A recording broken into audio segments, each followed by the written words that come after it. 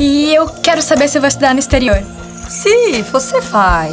Mas para isso, você terá que conhecer um alemão rico na praia deserta e se casar com ele em dia de eclipse solar. Mas fica tranquila, leva apenas uns 15 anos. Existe um jeito mais fácil de estudar fora do país. Primeira feira de intercâmbio internacional. Educação, cultura e turismo. Participe dos programas de intercâmbio da UFMT, de 12 a 14 de maio, das 9 às 21 horas, no ginásio da UFMT.